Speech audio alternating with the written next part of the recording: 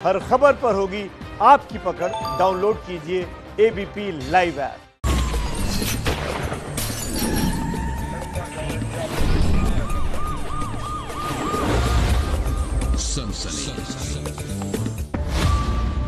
बाज़ार में मौत के सौदागर।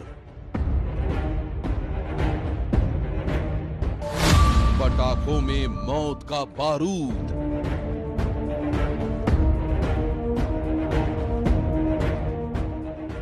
जश्न की आड़ में जान से खिलवाड़।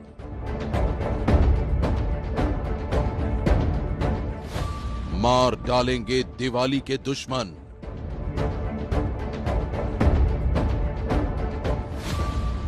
सबसे बड़े खतरे से बच के। दिवाली के त्योहार पर हर घर में खुशियों की रोशनी होती है। हर घर में जश्न की तैयारी होती है। लेकिन इस बार कोरोना के खौफ के बीच आपकी दिवाली पर मंडरा रहा है सबसे बड़ा खतरा। कोरोना काल में आपके जश्न पर नज़र गड़ाए बैठे हैं दिवाली के खलनायक। आज की सनसनी में हम आपके लिए लाए हैं कुछ ऐसे ही खलनायकों की कहानी जो आपकी ज़िंदगी में घोलना चाहते हैं, मौत का बारूद।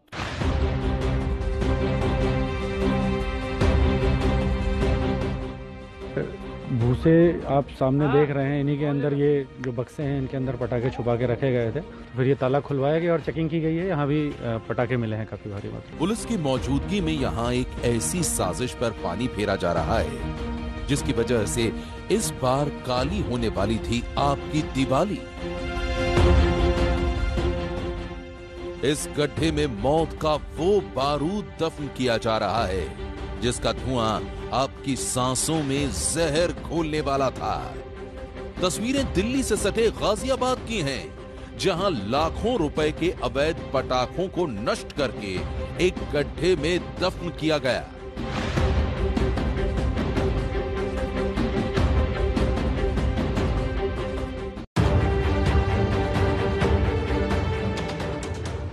हम आपको बता दें कि आपकी दिवाली को बेनूर करने की ये साजिश काफ़ी वक्त से रची जा रही थी।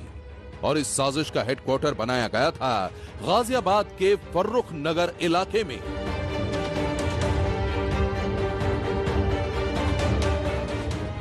वहाँ घरों के अंदर अवैध पटाखों के गोदाम बनाए गए थे।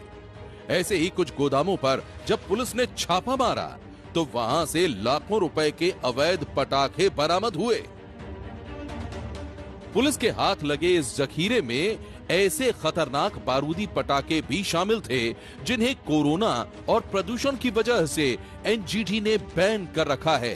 इन पटाखों का जहरीला धुआँ न जाने कितने लोगों की साँसें छीन सकता था। प्रदूषण फैलाने वाले बम पटाखों के खिलाफ जिला प्रशासन के इस अभियान को ऑपरेशन क्लीन का नाम दिया गया था। ऑपरेशन क्लीन का नाम दिया है जो पॉल्यूशन माफिया से हम बिल्कुल उसको मुक्त कराने के लिए हम लोग कटिबद्ध हैं। हर घर की तलाशी ले रहे हैं। आप देखिए कि किस तरीके से गाड़ियों के अंदर और ये इस तरह से छुपा करके ये सब उन्होंने रखा था क्योंकि यहाँ पर फैक्ट्रियाँ ऑलरेडी ध्वस्त हो चुकी हैं और बाकी सब ध्वस्त हो, होने जा रही हैं। तो इस तरह से उनको कड़ा प्रहार है।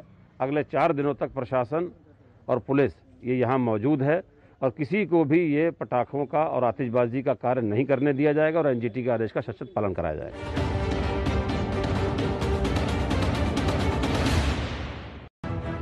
ऑपरेशन क्लीन के दौरान भारी संख्या में पुलिस वाले मौजूद थे। पुलिस और जिला प्रशासन की टीमों ने कई घरों में जाकर अवैध रूप से रखे गए बम पटाखों को खोजना शुरू कर दिया। इसके बाद जो तस्वीर सामने आई, वो आपको हिला कर रख देगी। सर्च ऑपरेशन के दौरान पुलिस वाले उस वक्त दंग रह गए जब उन्हें एक घर के अंदर भूसे के ढेर में छुपाए गए पटाखों के बारे में पता चला। भूसे के ढेर में अवैध पटाखों की बड़ी खेप पुलिस ने बरामद की है। भूसे आप सामने देख रहे हैं इन्हीं के अंदर ये जो बक्से हैं इनके अंदर पटाखे छुपा के रखे गए थे और ये मुखबिर की सूचना के आधार पर हम लोगों को पता चला है और फिर यहाँ पे रेड डाली गई और ये पटाखे बरामद किए गए हैं।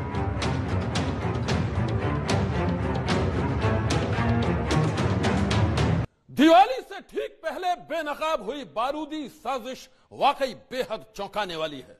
उस साजिश की एक एक तस्वीर एबीपी न्यूज़ के कैमरे में कैद है। जश्न की आड़ में आपकी जान से खिलवाड़ करने वाले माफिया ने अवैध पटाखों को छुपाने के लिए ऐसे ऐसे ठिकाने बना रखे थे, जिन्हें देखकर आपकी आँखें फटी की फटी रह जाएँगी। दिवाली के मौके पर आपकी सेहत को खतरे में डालने वाले माफिया ने पुलिस की आँखों में धूल झोंकने के लिए बेहद शातिराना चाल चली थी। अवैध बम पटाखों की खेप को ऐसे ठिकानों में छुपाया गया था, जहाँ किसी को भी शक नहीं हो सकता था। ऐसा ही एक गुप्त ठिकाना इस खंडहर नुमा मकान में बनाया गया था।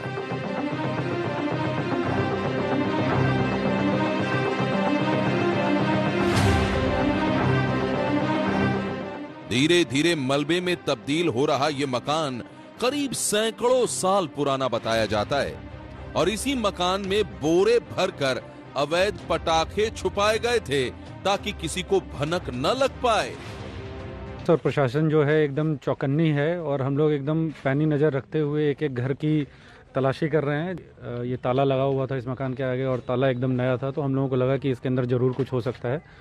फिर ये ताला खुलवाया गया और चेकिंग की गई है। यहाँ भी पटाखे मिले हैं काफ़ी भारी मात्रा में। हाँ सभी आसपास के जहाँ कहीं भी ताले पड़े हुए हैं उसको खुलवाया जा रहा है उसको देखा जा रहा है। लोगों ने मालूम चल गया है घर घर अभियान चल रहा है तलाशी चल रही है। एसडीएम और एडिशनल एसपी साहब आए हुए हैं तो लोगों ने अपना सामान छुपा दिए हैं वो सब निकलवाए जा रहे हैं। खंडहर नुमा मकान में छुपाए गए पटाखों की इस खेप को जिस वक्त पुलिस ने जब्त किया तो एक एक तस्वीर एबीपी न्यूज़ के कैमरे में कैद हो गई।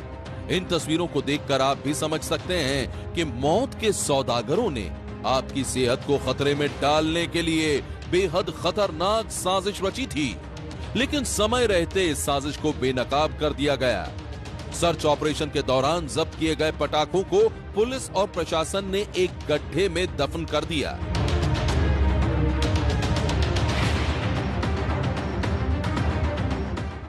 मैं आपको बता दूँ कि दिल्ली एनसीआर में प्रदूषण के हालात बद से बदतर होते जा रहे हैं।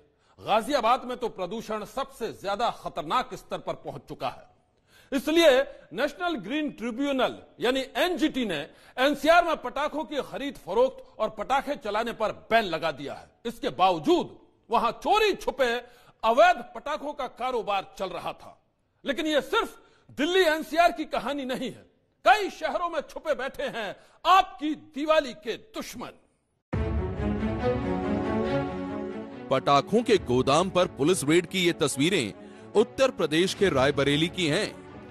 दिल्ली से सैकड़ों मीलों दूर रायबरेली में भी चोरी छुपे चल रहा था अवैध पटाखों का कारोबार। रायबरेली पुलिस ने महज 24 घंटे के अंदर दो गोदामों पर छापे मारकर अवैध पटाखे की बड़ी खेप जब्त की है। हैं। बड़े बड़े गत्तों में 84 बड़े गत्तों में ये अवैध पटाखे का भंडारण यहाँ मिला है, जिसमें लगभग ये 50 कुंटल के आसपास आकलित किया जा रहा है, जिसकी अनुमानित लागत 50 लाख रुपए के आसपास अभी आकलित की जा रही है। प्रदूषण को देखते हुए एनजीटी टीम भी ज़िले में सक्रिय है, उसको भी बुला लिया गया है। अन्य लोग भी आके अपनी कार्यवाही आगे की जा रही है। शुरुआती जाँच में पता चला है कि अवैध पटाखों के दोनों गोदामों का मालिक एक ही शख्स है। जब्त पटाखों की कीमत करीब 50 लाख रुपए बताई जा रही है। इससे कुछ ही घंटे पहले हुई छापेमारी में करीब एक करोड़ के पटाखे पुलिस ने जब्त किए थे। पुलिस की ताबड़तोड़ छापेमारी ने रायबरेली और आसपास के इलाकों में सक्रिय दिवाली के दुश्मनों की हालत पतली कर दी है।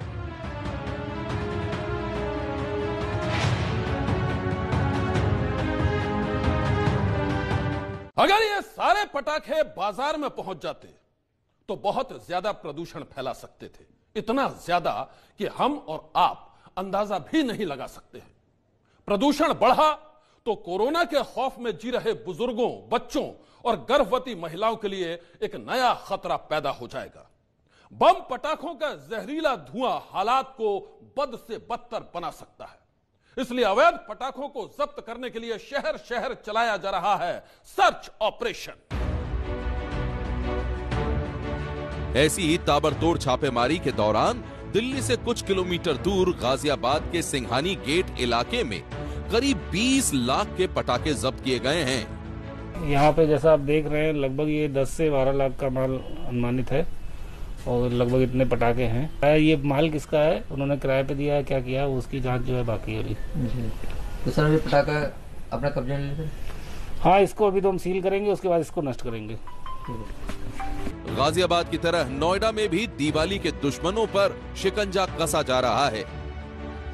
नोएडा पुलिस ने अलग अलग इलाकों में अवैध पटाखों का कारोबार करने वाले तीन लोगों को गिरफ़्तार किया है। पुलिस ने उनके कब्जे से कई बोरों में भरे अवैध पटाखे बरामद किए हैं। दिवाली से ठीक पहले शुरू हुई इस कार्रवाई में पुलिस के हत्थे चढ़े ये तमाम लोग तो पटाखा माफिया के मोहरे भर हैं। अवैध पटाखों के कारोबार पर पूरी तरह से ब्रेक लगाने के लिए पुलिस को उन लोगों तक पहुँचना होगा, जो इस खेल के असली खिलाड़ी हैं। जिस दिन पुलिस पर्दे के पीछे छुपे असली खिलाड़ियों को बेनकाब करेगी, तभी कसा जाएगा दिवाली के दुश्मनों पर शिकंजा।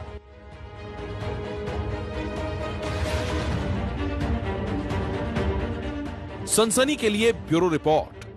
एक तो पहले से ही कोरोना के खूनी वायरस का खतरा मंडरा रहा है और ऊपर से दिवाली नज़दीक आते ही पटाखों के जहरीले धुएँ का डर सताने लगा है। मेरी आपसे गुजारिश है कि आप इस खतरे की गंभीरता को समझें। आप अपनी ज़िम्मेदारी को समझें और इस दिवाली जहरीले पटाखों से दूर रहें। आज की सनसनी में बस इतना ही। आप रहिएगा होशियार, सन्नाटे को चीरती सनसनी कल फिर देगी दस्तक। आपकी दहलीज पर।